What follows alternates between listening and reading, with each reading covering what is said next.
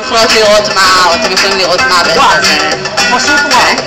זה לא להאמין כמה... אה, זה- בעצם באופן עקרוני חלק מהקושי זה שזה מבוסס נוגדנית טובה או דן טוב על איסוליישן זה מעניין. שהחלק שאתה מזיז רק מוזן עכשיו כן, אפשר אחר כך להתחיל לעשות את השכבות, אבל זה שליטה.